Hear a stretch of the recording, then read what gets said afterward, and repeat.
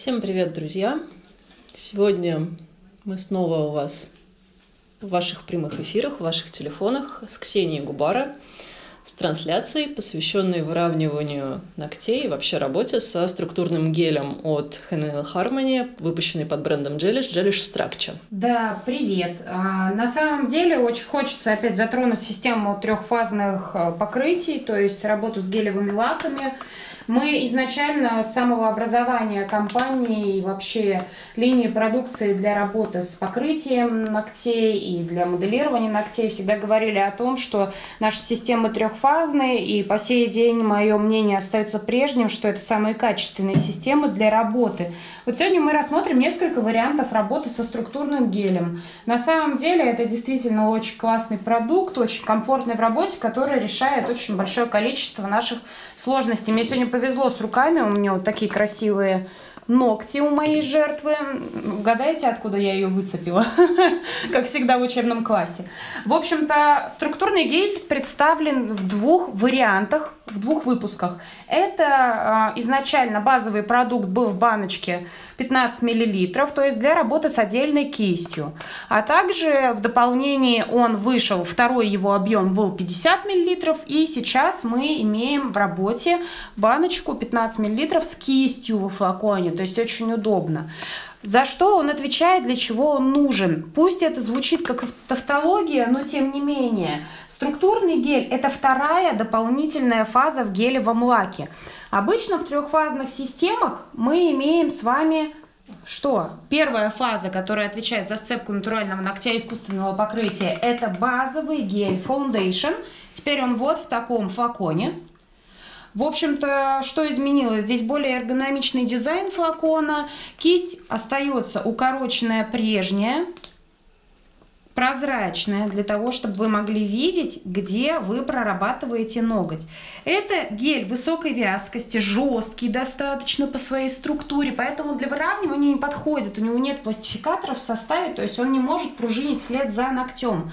В данном случае он отвечает за адгезию натурального ногтя искусственного покрытия. В его состав включена кератин-связующая молекула, которая позволяет вам работать без праймеров кислотных, бескислотных, то есть мы просто дегидрируем ноготь, сразу наносим базовое покрытие.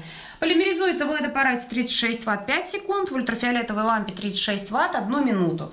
После чего мы обычно по классике жанра работаем с вами с цветными покрытиями. Но Цветные покрытия – это тонкие покрытия, которые не могут выровнять ноготь, не могут дать ему укрепление, если это клиент тряпочка. Поэтому в данном случае а, и был разработан структурный гель как дополнительная вторая фаза. То есть все опять продумали для нас в компании, чтобы все у нас было в комфорте в работе с любыми ногтями. Да, он в пузыречке такой же, но единственное, на мой взгляд, за счет того, что работа происходит более удлиненной кистью, он как будто бы более на долю жидкий, но а, нет, он такой же послушный, он абсолютно комфортный в работе.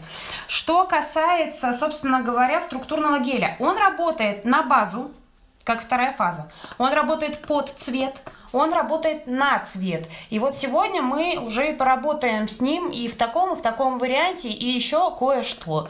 В общем-то, им вы можете дорастить свободный край, если не хватает, например, на каком-то пальчике небольшой длины. Я хочу напомнить, что это гель высокой вязкости с большим количеством пластификаторов, то есть в данном случае он все равно остается эластичным, он растворяемый, поэтому наращивать им большую длину не рекомендуется. Если нужно нарастить большую длину, то в данном случае случае удобно работать, конечно же, уже с жесткими продуктами. Но если не хватает пары миллиметров, то почему бы и нет, на форму или на типсу вполне можно это сделать.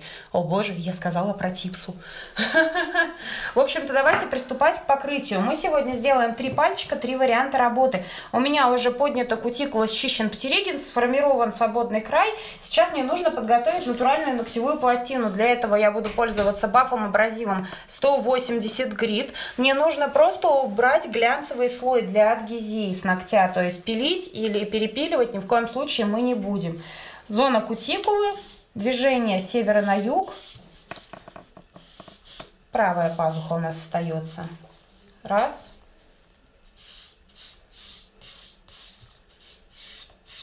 Два. Мы сделаем френч. мы сделаем выравнивание под цвет. Сделаем просто такой аккуратный вариант укрепления. Все, они не блестят.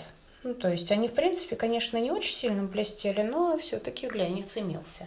После чего очень важно убрать излишек пыли с поверхности ногтя. Почему? Потому что, а, естественно, эта пыль может попадать вам во флаконы. Следующим этапом, в случае, если у вашего клиента гидроз, если у вас а, попадали лекарственные препараты, жироподобные вещества на поверхность ногтевой пластины, то для начала я рекомендую обезжирить ногтевую пластину препаратом and Sanitizer, который вообще изначально предназначен для снятия липкого слоя, полноценного его удаления, но, в общем-то, в данном случае он позволит нам полностью проработать ногтевую пластину и убрать остатки пыли для того, чтобы нам комфортно работать. В общем-то, и а, если у вас все в порядке с руками, нету гидроза, нету каких-либо попавших препаратов на ноготь, то есть не требуется дополнительное обезжиривание, то тогда мы сразу используем с вами препарат pH Bond, который мы используем всегда и везде. То есть а, перед нанесением лака, гелевого лака, дип-системы, а, при наращивании по акриловой системе, гелевый и полигель. В данном случае у препарата pH Bond мы уже показывали новый флакон обновленный. А, в общем-то, укороченная кисточка, которая позволяет вам корректно работать с продуктом, то есть непосредственно на той поверхности, на которой у вас есть необходимость.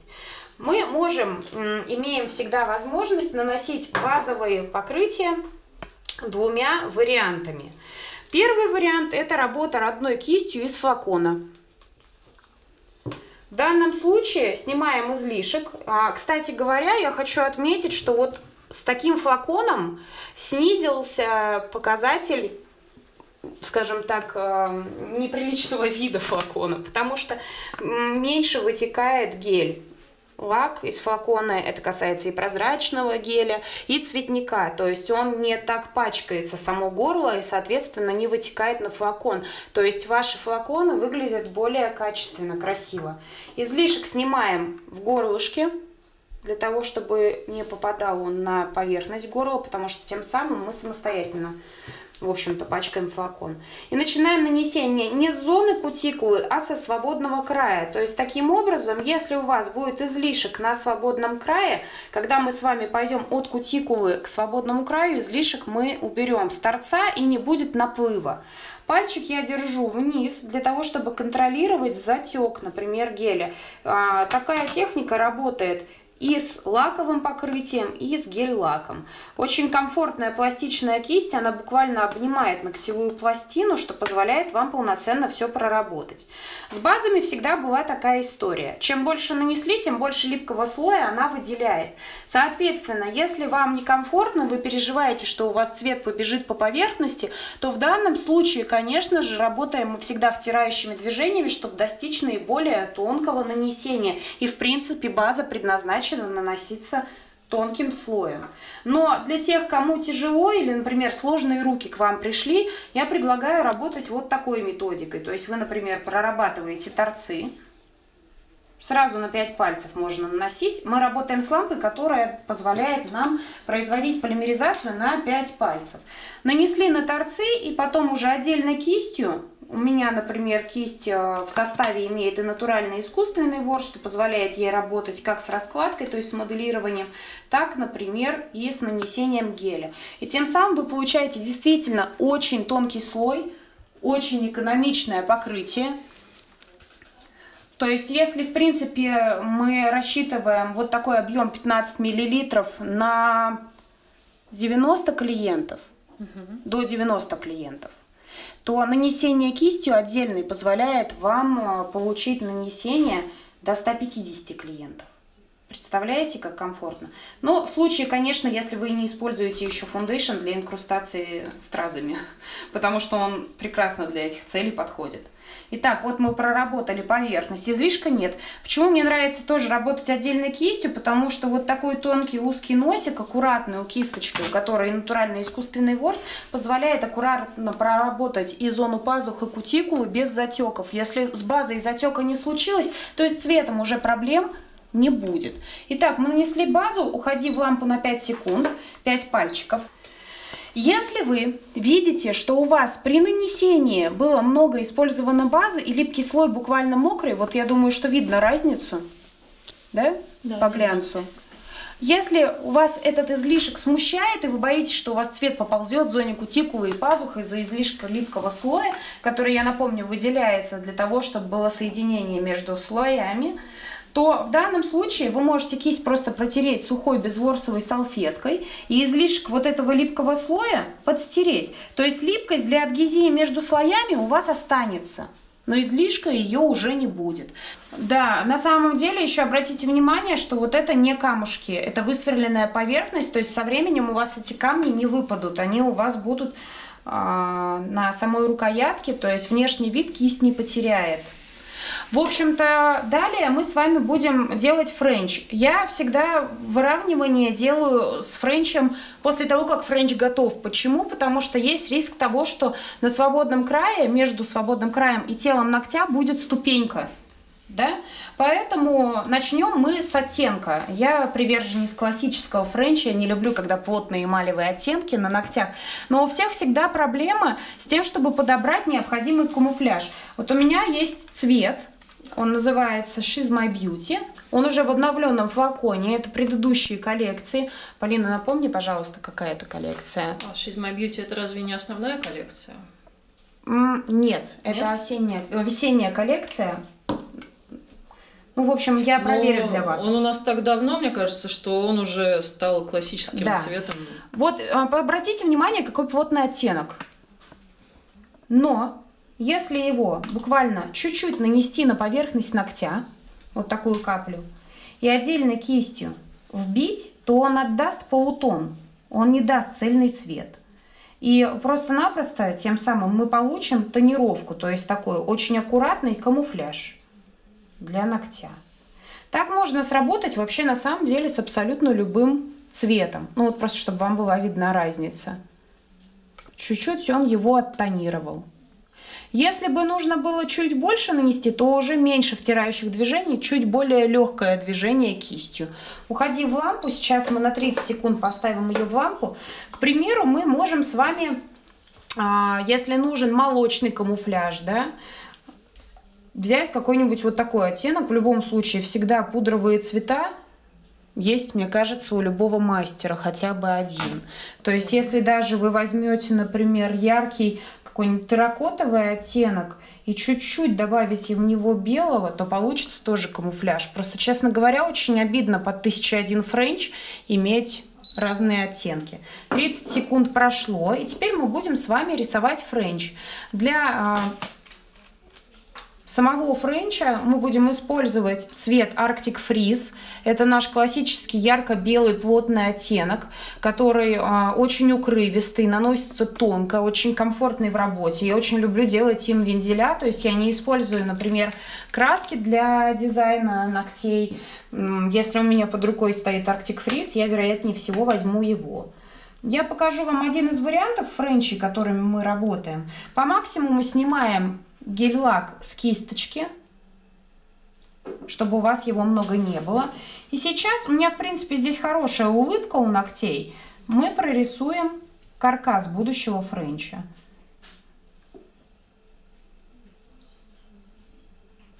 Ну, то есть вот пускай он будет вот такой вот страшненький.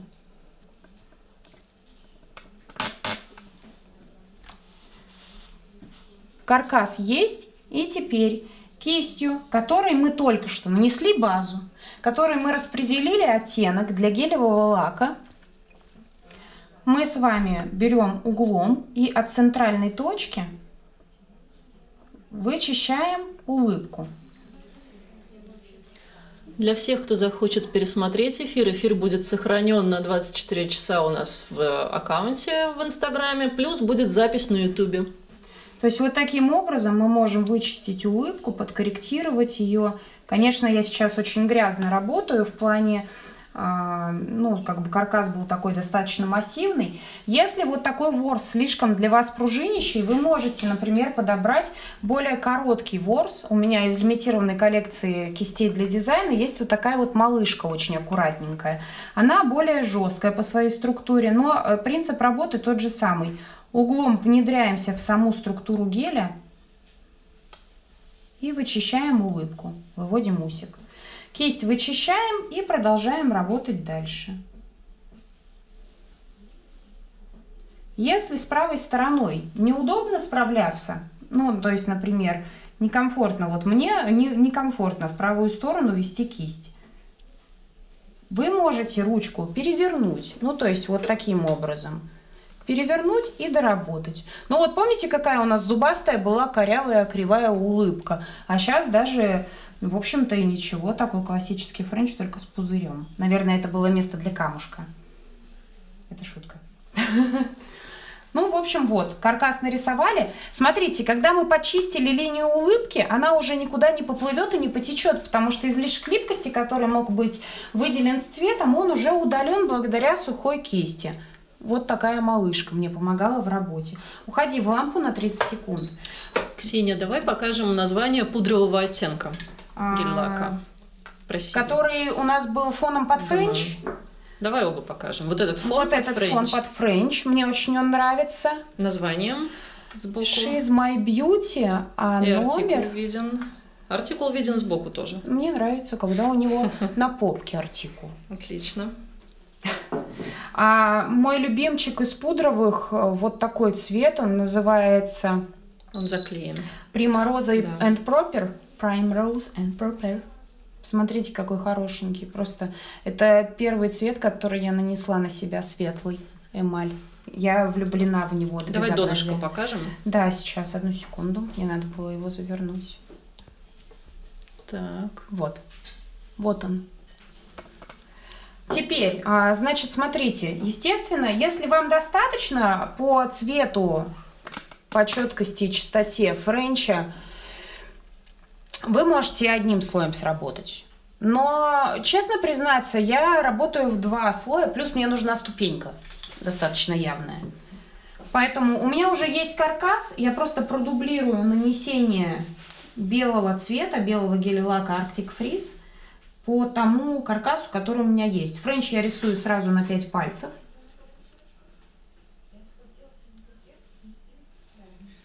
Вот, кстати, обратите внимание, сейчас Ксения рисует уже новой кисточкой из гель-лаков Джелиш, а в нашем предыдущем видео на ютубе вернее, это на данный момент это последнее видео на нашем YouTube-канале, посвященное как раз рисованию френча и всем техникам, которыми Ксения работает, она рисовала еще старой кисточкой. И, как вы видите, кисточка изменилась, а результат такой же прекрасный остался. Спасибо, Полина. Ну вот я накосячила со вторым слоем. Простите, конечно, такое бывает, но, но вы, если знаете, как исправить свою ошибку, у вас больше функций в работе, опций, точнее сказать. То есть у вас а, всегда есть отступной путь. Вот у меня, например, вот здесь был недочет, и я взяла и опять же по той же технике его поправила. Если вам хочется в таком варианте, то есть также сделать все полотно свободного края белым, но дотянуть усики повыше у френча, то есть сделать такой более драматический френч, то для этих целей можно вот просто тоненькой кистью уже, например, взять и дорисовать этот ус. Это достаточно легко и просто и комфортно. Уходи в лампу, дружок, на 30 секунд. А, собственно, кисти я не мою в никаких спиртосодержащих жидкостях. А, промываются они у меня только посредством сухой безворсовой салфетки. Но если у вас пигмент попал, например, в кисть, и вам не отмыть его, то для этих целей вы можете взять, капнуть базу, например. Кисти для геля очень любят липкую среду. И вот прям попромакивать кисть в базе, выбьется пигмент и сухой салфеткой также вытереть например, кисть. Так она прослужит вам дольше. Просто подумайте о натуральном ворсе кисти, как о своих волосах. Вот если вы свои волосы в спирте помоете, к примеру, то что же у вас получится? Кроме суперобъема, пожалуй, ничего. Итак, вот теперь, когда у нас есть ступенька, я думаю, что вот так на черном видно, что она имеется. Сейчас приблизим здесь. Да, видно. У нас есть как раз-таки прекрасный способ выровнять эту ступеньку, ведь во френче у многих такое происходит. Понятно, что можно сработать техникой стык в стык, но она на самом деле не для всех комфортна, потому что все равно очень много дизайнеров работают, а для них френч это мучение. Для классиков в принципе ничего сложного абсолютно не происходит. И вот теперь мы приступим к работе, например, со структурным гелем. Сейчас я возьму структурный гель во флаконе с кистью.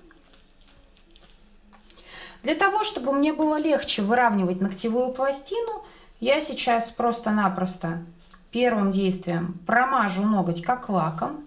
Кисть прозрачная, что позволяет вам полностью контролировать, где вы работаете ей.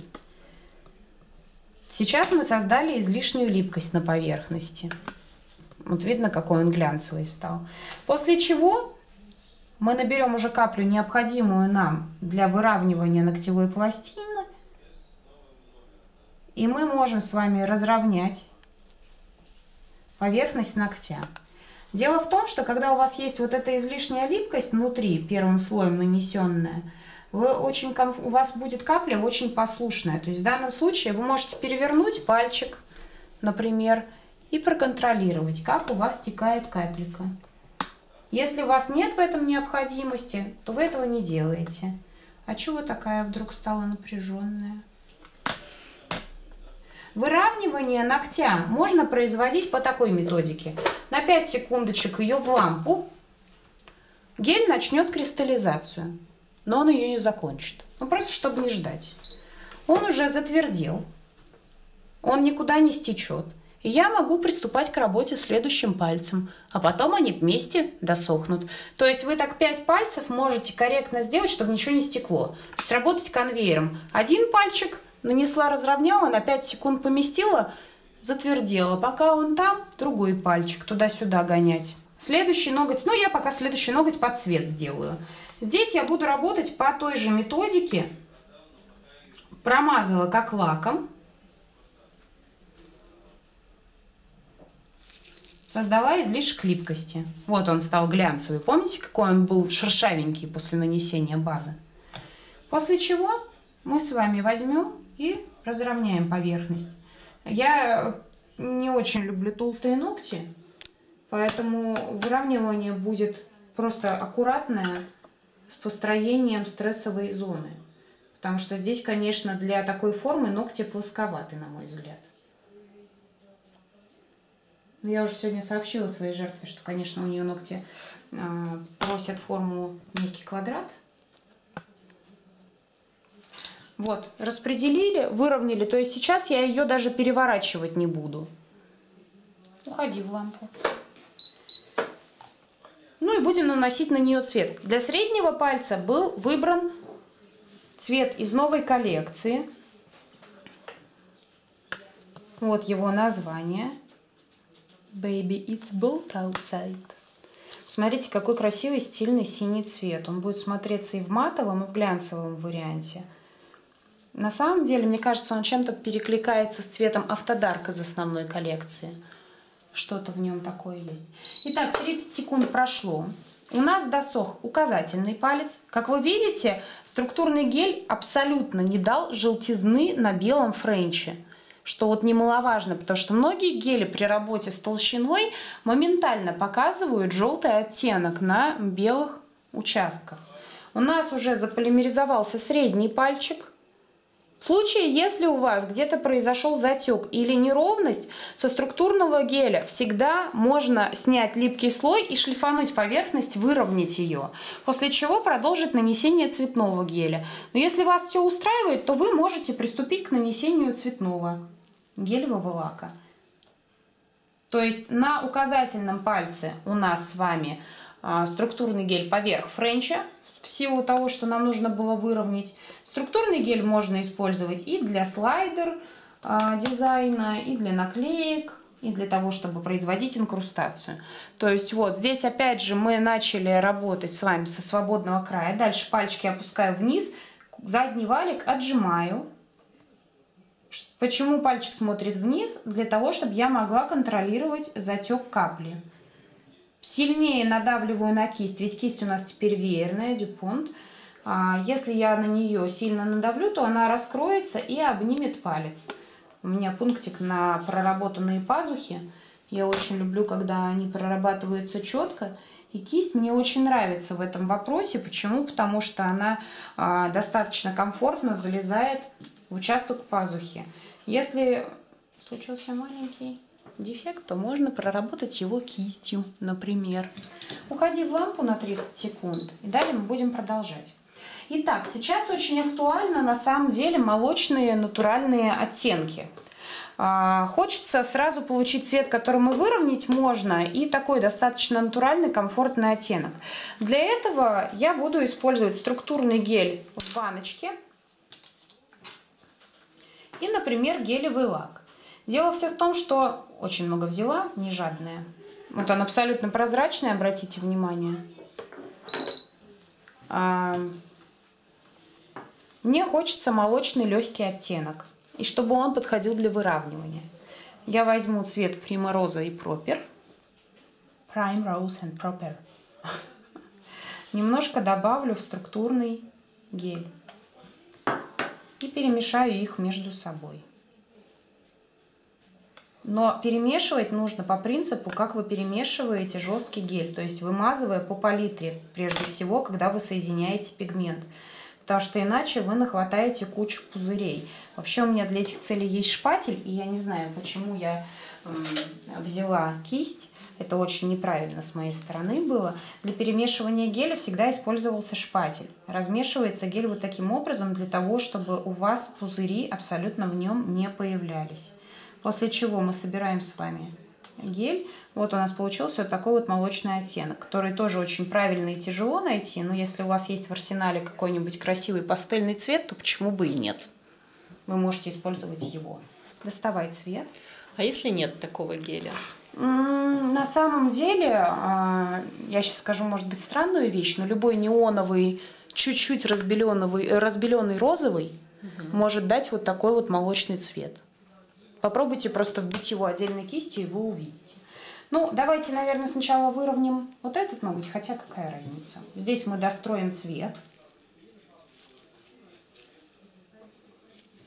Отжимаем пазуху для того, чтобы полноценно поместить туда кисть.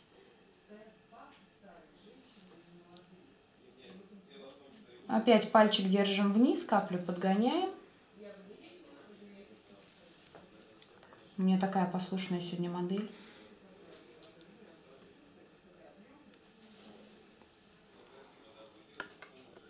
Вот в два слоя, мне кажется, более чем достаточно с ним.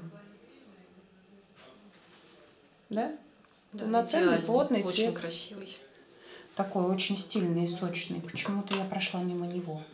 Ну и теперь мы будем делать выравнивание с молочным цветом, который мы намешали. Первым делом я все равно опять возьму капельку. За толщину построения я уже не боюсь, потому что структурный гель добавил в цветной прозрачности, а значит усилил его свойства полимеризации. То есть за 30 секунд он у нас просохнет. Ну вот, мы его просто распределили тонким слоем, как лаком. Он такой стал молочный, комфортный. То есть как вариант для американского френча очень даже комфортный. Ну и теперь набрали капельку. И, соответственно, по вот этому липкому слою, который мы с вами построили, будем ее разравнивать, распределять. Я очень люблю молочные оттенки в укреплении и в покрытии. Почему? Потому что они создают такой цвет комфортный, здорового ногтя. Очень легкий, без претензий.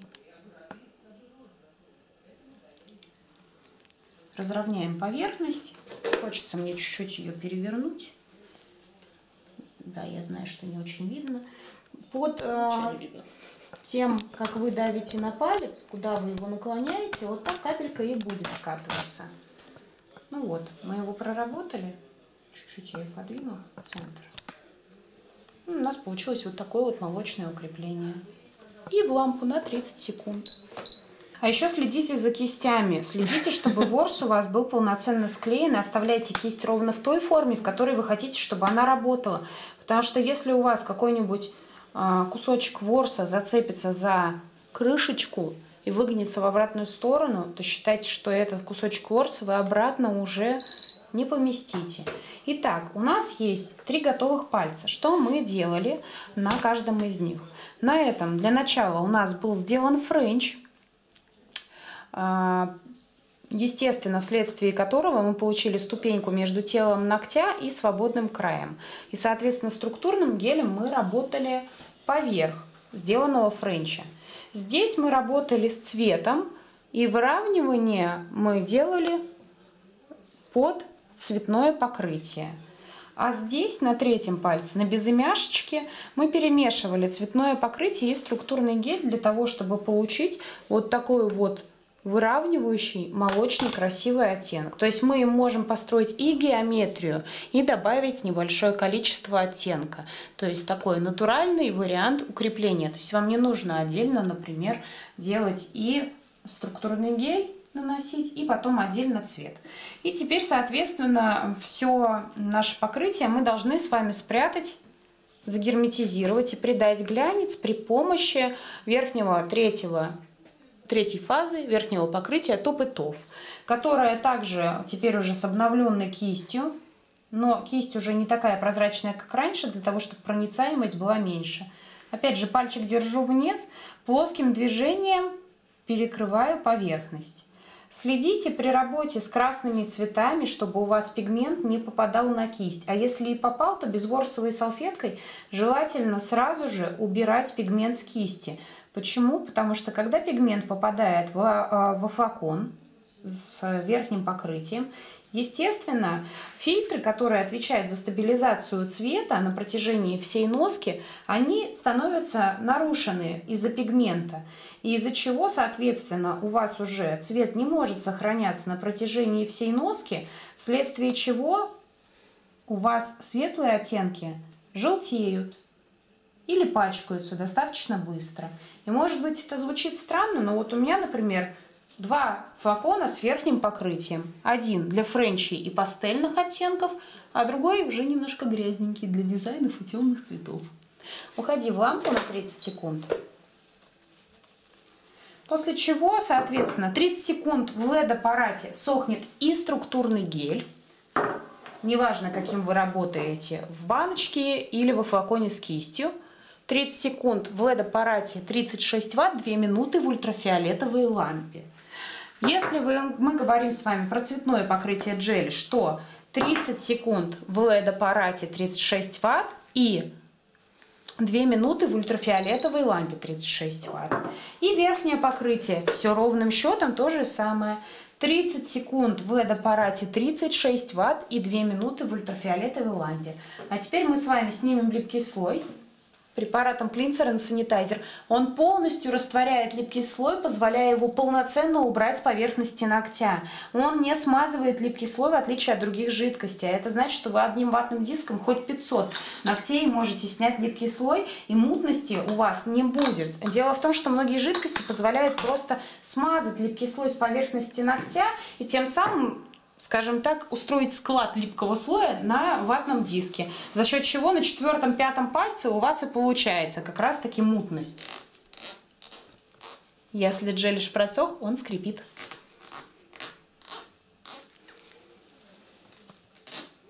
Хрусь, хрусь, хрусь. Да, Такой меня все просохло. Ну вот, в общем-то, наши три пальчика готовы. Так непривычно, что посередине синий. Тут по, по логике вещей должен быть красный цвет, мне кажется, да? Но просто я не могла не взять новый оттенок. Вот такие вот у нас получились ногти. Естественно, можно было добавить чуть-чуть больше пудрового пигмента, и получился бы такой более плотный оттенок. Но мне, честно говоря, очень нравится вот такой его легкий тон. Можно, например, в липкий слой было добавить немножко мокрой слюды или каких-нибудь других блестков. блестков. Конечно. Ну зачем? Но Он мне очень нравится. Так, я думаю, что ты разделяешь мое мнение по поводу Конечно. этого цвета. Спасибо вам, друзья, что были с нами. Да. Если у вас возникают вопросы, то по классике жанра пишите нам в директ аккаунт э, Harmony Nail. Мы будем рады ответить на ваши вопросы. Да. Всем спасибо за внимание. Всем до свидания. Пока. Да.